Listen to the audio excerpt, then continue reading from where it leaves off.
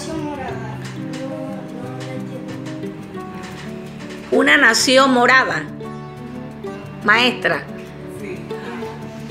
Él está hablando de la, de la Rosemary tiene su melliza. Ajá, sí, cómo no. Que la, que la mamá tenía solamente, en la radiografía solamente salía un hijo, Un una hija. Y ajá. cuando nació se dieron cuenta que estaba otra. Y esa otra era la escritora Rosemary Tapia. Rosemary. mellizas, ella y Marisela. Marisela. Esta obra es eh, como un homenaje a su mamá, que es Rosa Rodríguez de Tapia, que es el nombre del círculo de la escuela, en donde sacan todos esos segmentos, porque era una excelente maestra, porque lo- los comentarios para las personas que hemos invitado, que dice que era una excelente maestra, a pesar que ellos no eran chitreanos, ellos son chitreanos. Maestra. ¿cuántos forman el círculo actualmente de, de teatro? El círculo de lectura está conformado por 26 estudiantes y los 26 estudiantes son actores. ¡Wow! Así que esta obra viene con, como usted dice, tradición de Chitré, Ajá. personas de Chitré que estoy- estamos invitando porque mencionan, me imagino, a abuelos, bisabuelos que estuvieron presentes eh, en la familia Ajá. que se relacionaron con, que se relacionaron con ellos.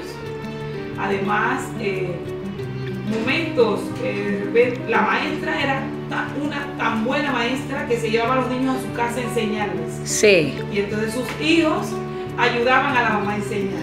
Ade- Además de eso, ayudaban a muchas familias, independientemente de su situación, que tenía seis hijos, ella ayudaba a familias apoyarla pues, con los gastos que tenía. Cuénteme, maestra, ¿cómo fue esto, la emoción que tuvo Rosemary Tapia cuando el círculo de teatro le fue a invitar ahora a la feria del libro para este evento?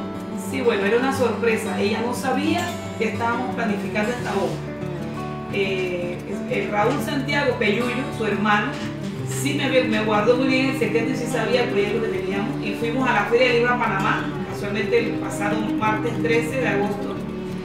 Y le llevé la invitación pública donde presentó su libro Se presume culpable. se presume culpable.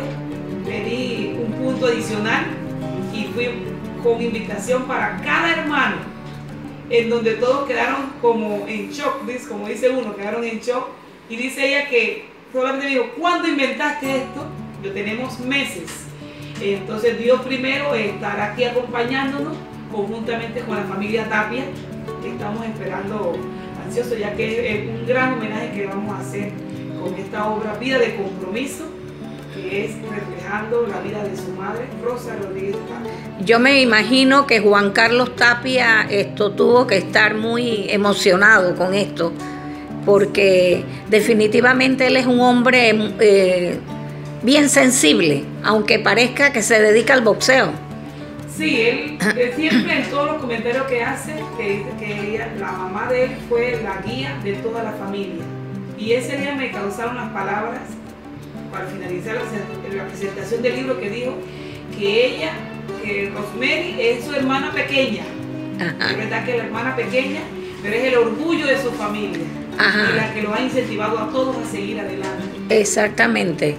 Bueno, y ahora tenemos aquí a otra de las participantes del elenco, otra del elenco que ha llegado. Eh, ¿Cuál es el nombre?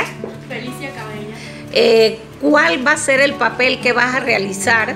Eh, Felicia Cabella es la abuela de Rosa y bisabuela de Rosemary. Oh, qué bien. ¿Y qué tal te ha parecido el papel que te ha tocado desempeñar en la obra? Muy bien. Ajá. ¿Y cuál papel te ha impactado más de toda la obra de, El de Rosemary. Ah, el de Rosemary. Es que eh, Rosemary allí hace una, un esfuerzo literario tremendo.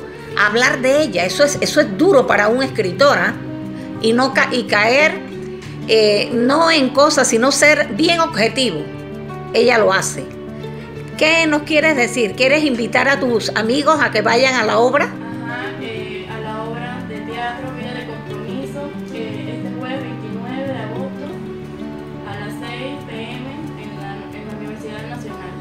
¡Wow! Bueno, no sé si ustedes quieren agregar algo más. ¿Ustedes? ¿No? Bueno, vamos a un cambio, caballero, y volvemos.